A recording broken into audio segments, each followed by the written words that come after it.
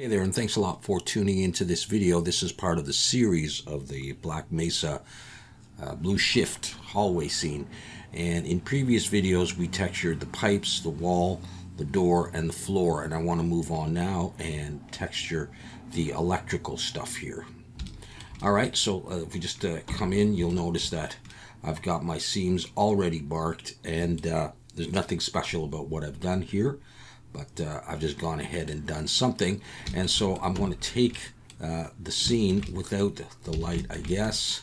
So we're going to get, we're going to hide that. We're going to hide that. And we're going to take all of this, save that, and I'm going to export that as an FBX.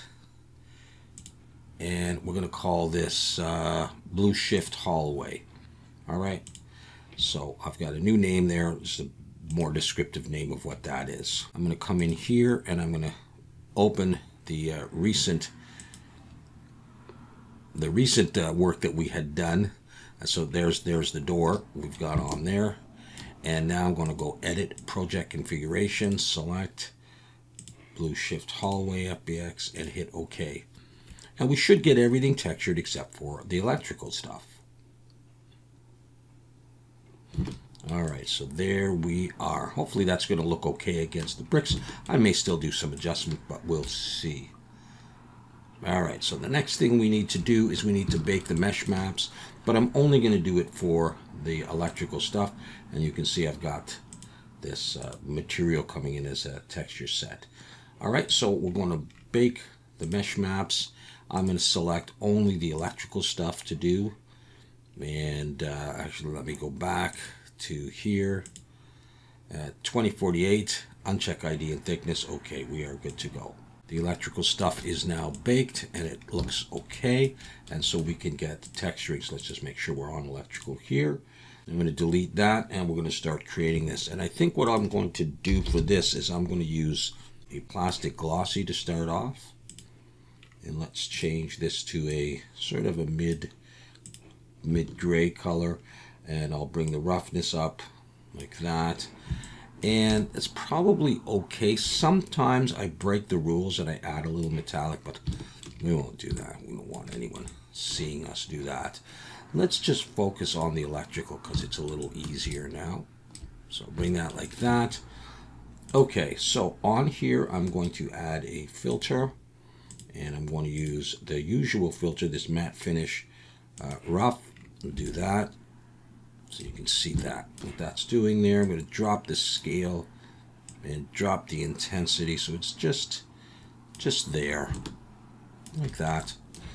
Okay, so that's good so far. The next thing we're going to do is let's add some edges on here. We'll just choose uh, the white and we'll do a black mask and a generator and we'll try this metal edge like that. Drop the the wear bit. Maybe I'll try triplanar, mm, the grunge a bit. And what I really want to do is just drop the curvature weight and just have the slightest bit of uh, white around there. And I can also do it here. I don't. I'll, I'll leave it there for the moment. And I'm going to call this edges. But I also want some red on here.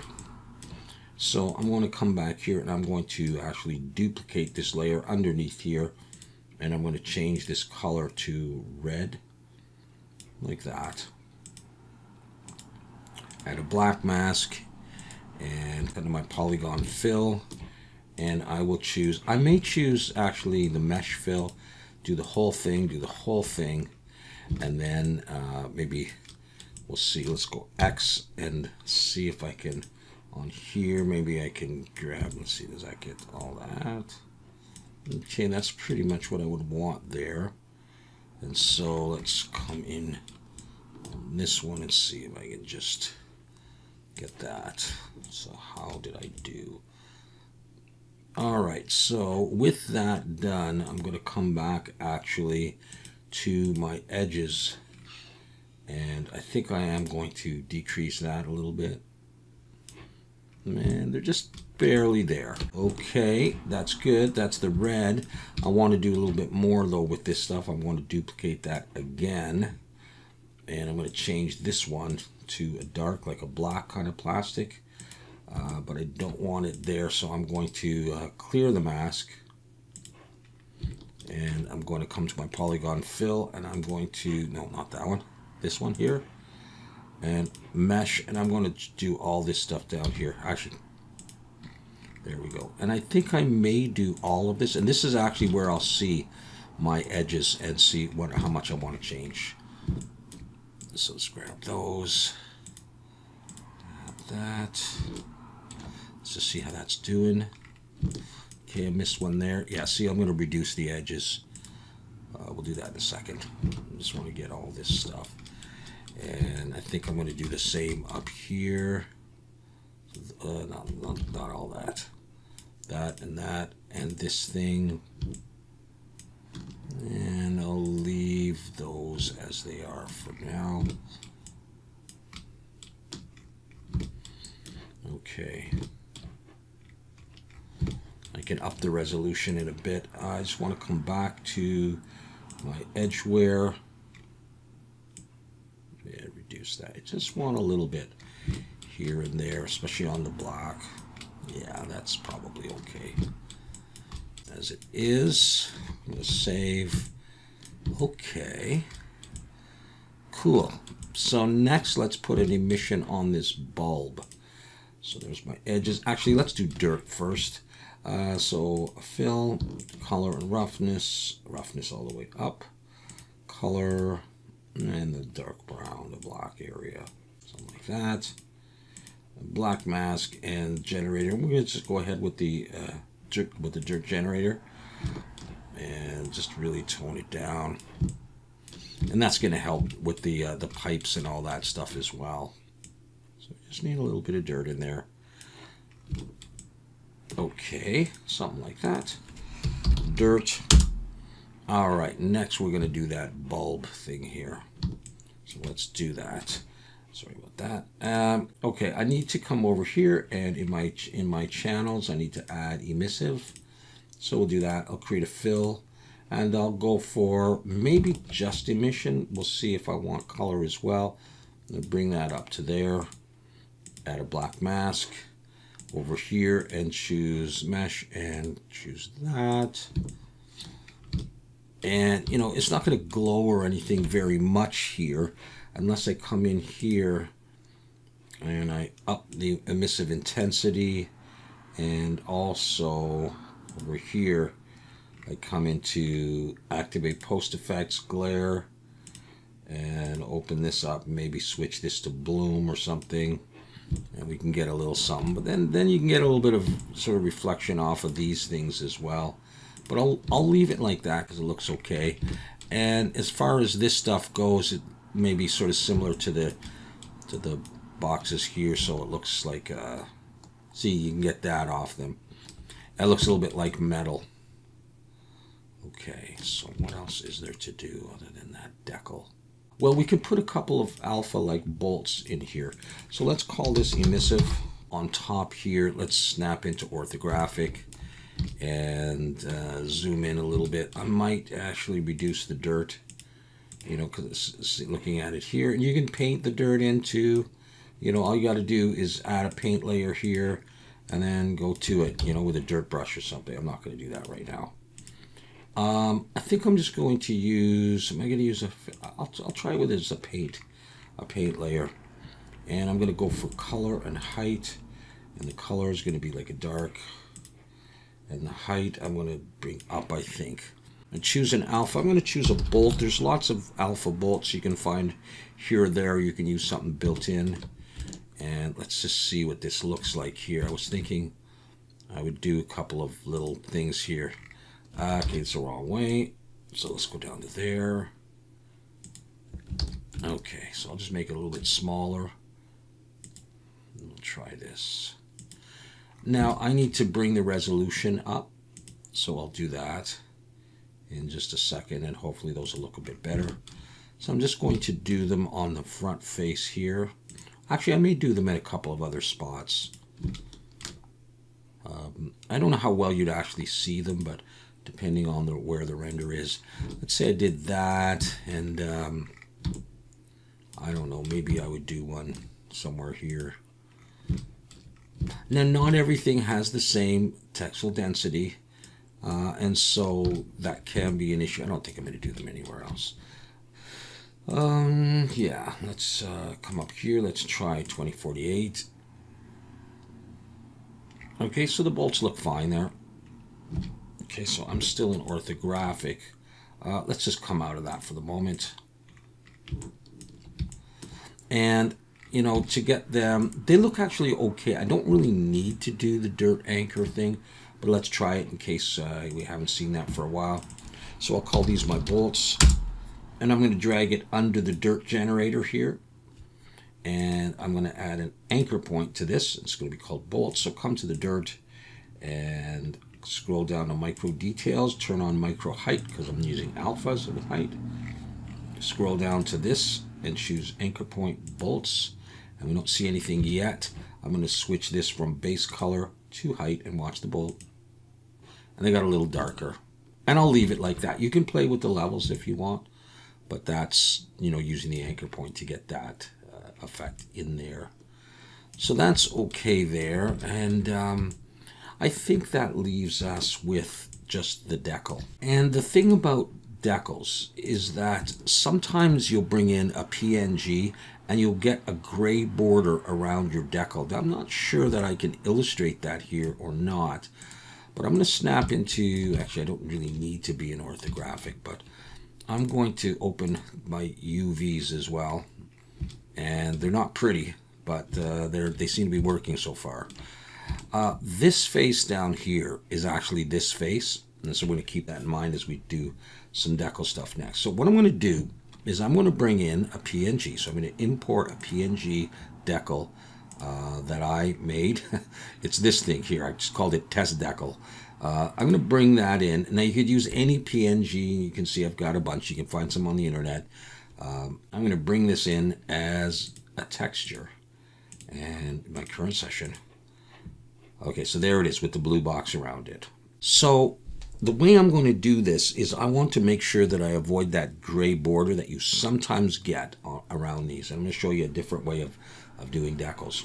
And the way we do it is create a fill layer I'm going to call this decal, or decal 1.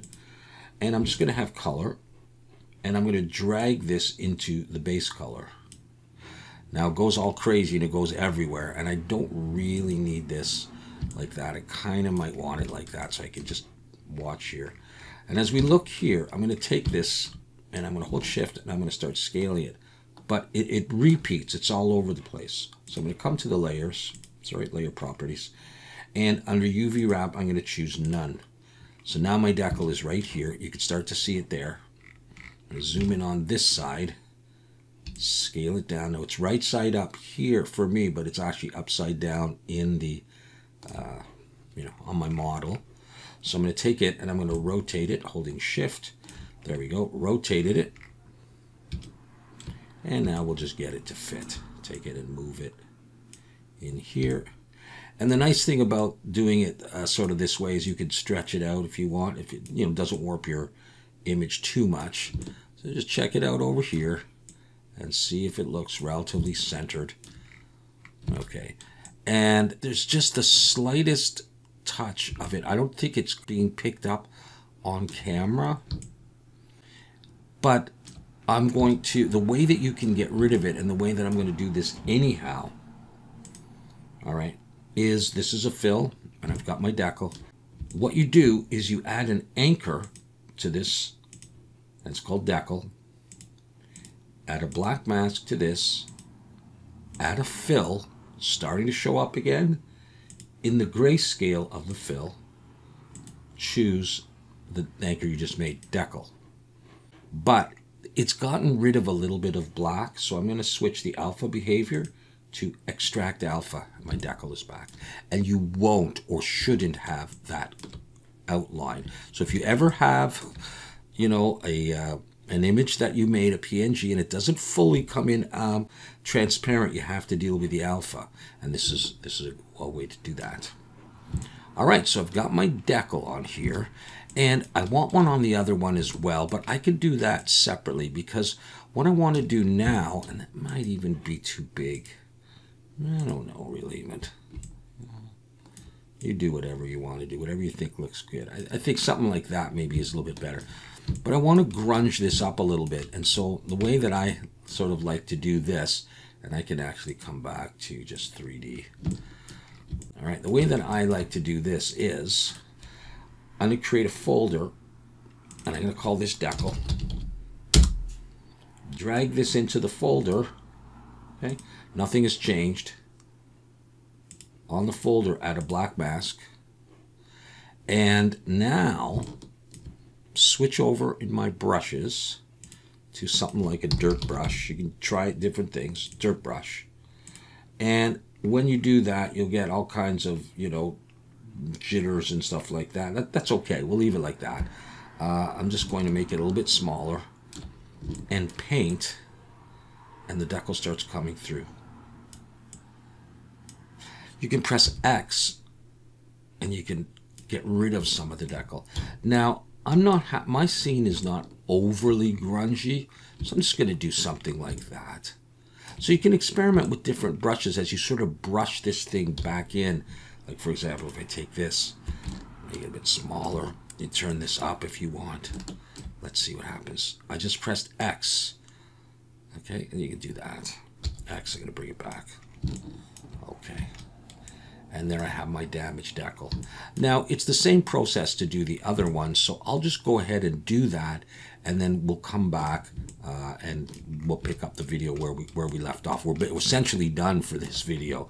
All right, I just want to show you the whole thing and see how it's looking together. So I'm going to go ahead and do the other decal. There is my second decal on. It's the same decal, but uh, that's where it is right now. So with that done, let's unhide everything else and have a look. There's what the scene is looking like.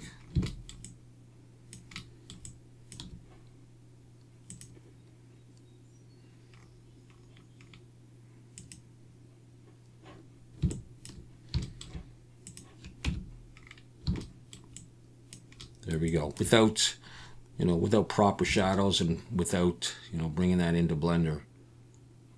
All right, and that's what we're going to be doing next because we're going to do that last light, which is right there. And then uh, I think we're pretty much ready to go. Okay, so there is the electrical stuff. Hopefully it looks okay to us.